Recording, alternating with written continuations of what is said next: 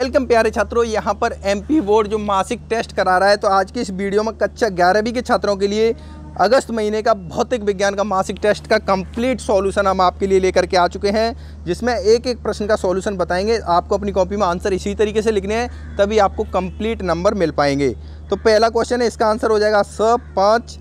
दूसरा objective question है, इसका भी आंसर हो जाएगा ऑप्शन नंबर थर्ड। तीसरा क्वेश्चन है, गैस के अड़ुओं की गति होती है, वो होती है यानी इसका भी हो जाएगा ऑप्शन नंबर थर्ड। चौथा क्वेश्चन है, किसी गतिमान कण के लिए शून्य हो सकता है तो वो हो सकता है विस्थापन। तो यहाँ पर इस तरीके से जो हो जाएँगे ऑब्जेक्टिव एंड पांचवा क्वेश्चन है, दो सदस्यों के योग का अधिकतम होता है, जब उनके बीच का कोण होता है, वो ज़ीरो डिग्री होता है, तब उनका योग अधिकतम होता है।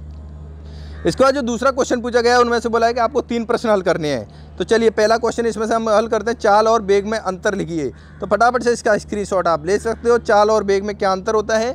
अगर आप इसकी पीडीएफ फ़ाइल डाउनलोड करना चाहते हो वीडियो की डिस्क्रिप्शन लिंक डाल दूँगा वेबसाइट पर जाकर के आप डायरेक्टली डाउनलोड भी कर सकते हो। इसके बाद गाइज़ देखिए, यहाँ पर दूसरा क्वेश्चन पूछा गया है, किसी वस्तु को ऊपर फेंका जाता है तो भी समय बाद ऊंचाई तेज़ी से लौटकर उसी स्थान पर वापस आ जाती है। तो वस्तु द्वारा विस्थापन क्या होगा? तो वस्तु द्वारा विस्थापन ज़ीरो होगा तय की दूरी होगी वो कितनी होगी? टू एच हो जाएगी। समतल की गति के तो उदाहरण दीजिए तो वो हो जाएगा प्रक्षेप गति और वृत्तीय गति में समतल गति। इसके बाद गाइस देखिए नेक्स्ट क्वेश्चन है, कलन विधि से एक समान त्वरण के लिए शुद्ध गति के समीकरण प्राप्त कीजिए। तो यहाँ पर आप देख सकते हो, ये कलन विधि से तीनों गति के समीकरणों का यहाँ पर आपके सामने लेकर के हम आ चुके हैं, इसका आप फटाफट से स्क्रीनशॉट ले लीजिए। स्क्रीनशॉट लेने की भी ज़रूरत नहीं पड़ेगी। इसके बाद गाइज़ आप देख सकते हो नेक्स्ट क्वेश्चन है, सदस्यों का योग का त्रिभुज नियम आपको लिखना है। तो यहाँ पर देख सकते हो, इसका स्क्रीनशॉट ले लिए, इस क्वेश्चन का आंसर ये हो जाएगा।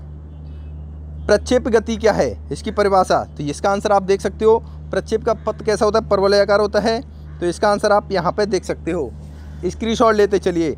स्क्रीनशॉट आप नहीं ले पा रहे वीडियो की डिस्क्रिप्शन लिंक मिल जाएगी। वहाँ पर क्लिक करके डायरेक्टली आपके सामने पीडीएफ खुल जाएगी। डाउनलोड कर लेना, आंसर अच्छी तरीके से लिख लेना।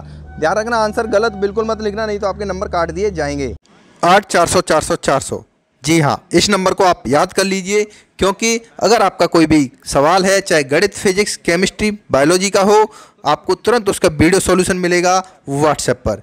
इस नंबर को आठ चार सौ चार सौ चार सौ को आपको सेव कर लेना है। सेव करने के बाद आपका जो भी कोई क्वेश्चन है, उसका आपको फ़ोटो खींचना है, उसको क्रॉप करना है। क्रॉप करने के बाद सबमिट कर देना है, तुरंत उसका वीडियो सॉल्यूशन मिल जाएगा। क्लास छः से लेकर बारह तक I I T JEE Mains advance C B S E board या किसी भी स्टेट बोर्ड के आप स्टूडेंट हो, आठ चार सौ चार सौ चार सौ पर अपने डाउट को सॉल्व कीजिए। लिंक डिस्क्रिप्शन में चाहिए।